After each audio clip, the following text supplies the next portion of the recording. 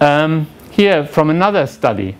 And actually, the other, interesting I found, uh, uh, other interesting thing I found doing this little bit of piece of research, when you do Chinese medicine, if you read traditional Chinese medical books, one of the things you always find authors copy from each other. Yeah, so you find one book and you find exactly the precise quotation in the next book.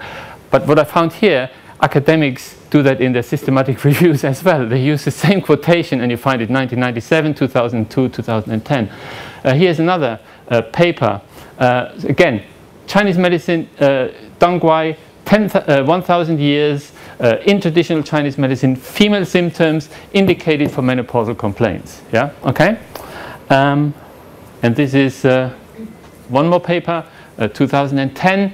And again, uh, Dong Quai products, native to China, same stuff, almost same, same, uh, same quotation. Still used in TCM um, to treat menopausal complaints and menopausal symptoms. Um, same thing for Renshen. Uh, uh, ginseng. Ginseng is sometimes used as a simple herb in Chinese medicine, but when it's used as a simple herb is uh, for shock. To, to revive people. It's not used for menopausal, I mean, there's no historical claim that it's used for menopausal symptoms as, as a simple herb. But again here, uh, same paper, uh, Ernst 2010 just published uh, in, in Maturitas journal widely used in traditional um, uh, medicine to treat sexual dysfunction and menopause symptoms. Yeah, okay? Uh, so this widely used is because in America it's available over the counter. In America it might be used to treat menopausal symptoms, but it's actually not used in traditional Chinese medicine, but there is a claim made that it is. Yeah? Uh, even more interesting is ginkgo. Yeah? Uh, this is ginkgo biloba. These are the leaves and these are the seeds. Yeah? Okay. Um, as some of and this is a product. yeah? Okay, as some of you might know, uh, in Chinese medicine you use this.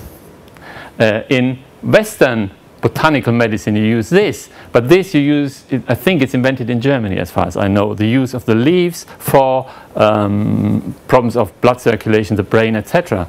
But here we have Edzard Ernst uh, saying Ginkgo biloba, one of the oldest living trees in China. The leaves of this plant have been used in Chinese traditional medicine to treat circulatory disorders, enhance memory, and to promote general longevity. And that's why we might want to test them for menopause. As I said before, in traditional Chinese medicine, the leaves haven't been used, but the seeds. And the seeds are used for things like asthma or discharges. Yes? Okay. So one would ask, why, does, why do these researchers make these claims?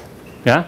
Obviously there's a projection on their part onto Chinese medicine. So maybe the project, I, I, can only speculate on these projections. Yes, maybe it's easier to get research grants, or maybe it's easier to get through ethics commissions, looking at one single substance rather than a complex substance. Yes, or maybe by showing that it doesn't work, but maybe by showing that a single herb that didn't have the original indication doesn't work, one can say that Chinese medicine doesn't work. Yes, okay.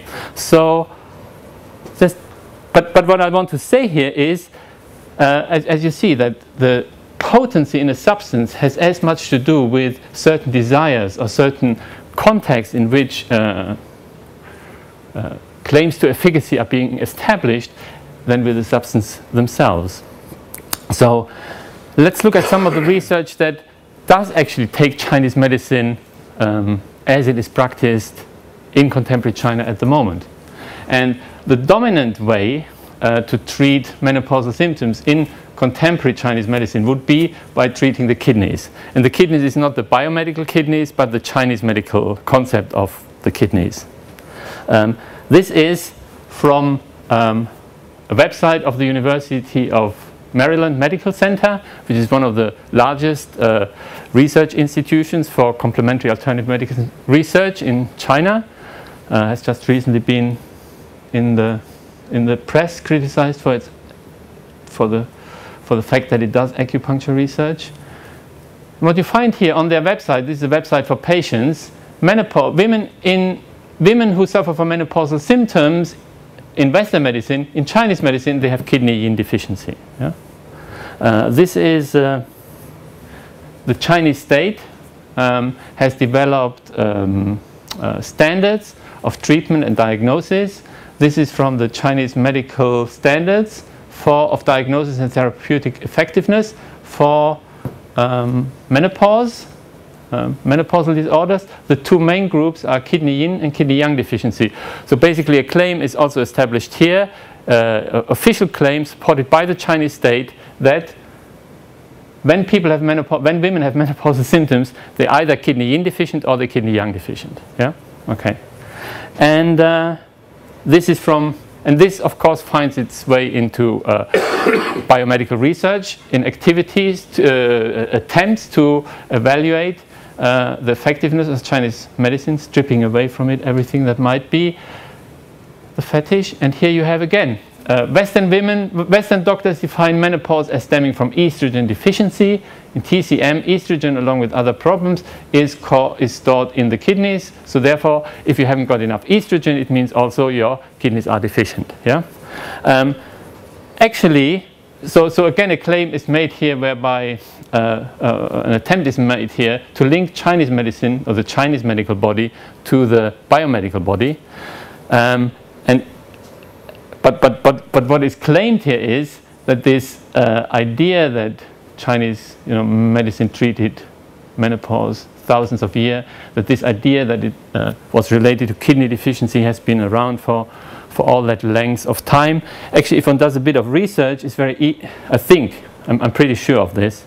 Um, this, this claim comes from 1964, uh, from, from this text uh, it's, very, it's very clear to see because the first edition of this text was published in 1960. 1964 in the second edition, uh, menopause uh, is being discussed as a treatment. And I'm pretty sure, uh, I haven't got time to go into this here in detail, but I, but I, you know, I can do a talk just on this, where I show this, uh, that the idea that, that uh, hormonal problems, that, that menopausal problems are kidney deficiency is a translation of the biomedical idea of hormone deficiency, of estrogen deficiency into Chinese medicine, sold back to the consumers and the biomedical researchers as 2,000 year old Chinese wisdom. Yeah, okay.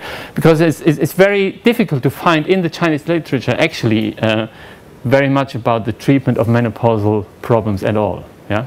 Uh, as I will show, and, and that's a tendency that persists today. But once a truth has been constructed, this is what people tend to do. There's a very interesting study by uh, Zell from 2000 who looked at, uh, or she looked at uh, the diagnosing and prescribing practices of TCM practitioners in America. And uh, they looked at uh, how they would diagnose uh, um, menopausal women. And uh, lo and behold, 81% diagnose exactly what the standards say they should find. Yes? Okay. Um, so there is, in other words, again, um, what is the fact here? Is the fact where, where, lies the fact? Where lies the fact, and where therefore lies the potency of the treatments? Uh, because obviously it doesn't lie totally to my, uh, in, in, my extent, in, in an observation of nature. And um, very interestingly, another way of approaching gynecological prob uh, menopausal problems in the Chinese medical traditions is through what I have called here the blood. Um, and I cited to you already this paper from uh, 1997 uh, on dangui, on the use of dangui. And interesting, all these papers, they need to make some kind of connection all these scientific papers, for some reason, they always need to make a connection to traditional Chinese medicine, um, which, which in a certain way I find surprising. If I just want to, to, to look at a substance, why don't I just look at the substance? It doesn't matter whether the Chinese used it or the Africans used it or whether it gets used in, in modern China. Why do I need to link it? That's also a fetishization of a certain, of, of, of, of the object here.